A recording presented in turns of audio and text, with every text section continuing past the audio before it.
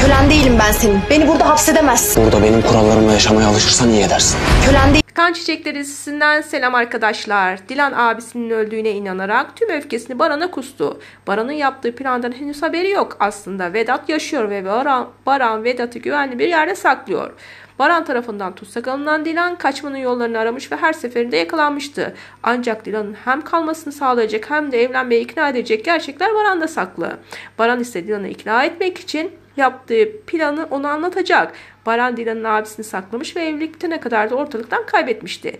Evlilik bağıyla iki aile birleşince ise tüm gerçekleri açıklayacaktır. Dilan evliliğe razı gelecek, Baran'ın planı kusursuz gibi görünse de birçok zorlukla karşı karşıya geleceklerdir.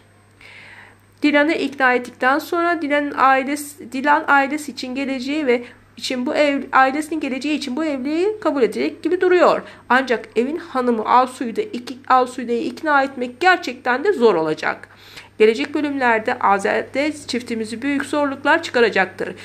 Gelecek bölümlerde Alsu'yu çiftimizi büyük zorluklar çıkaracaktır. Çünkü olumsuz ve zorluklara rağmen Dilan ve Baran hayatlarını birleştirerek birleştiren ikili tüm yanlışlarıyla beraber zorluklara göğüs gerecekler ve mücadele edeceklerdir.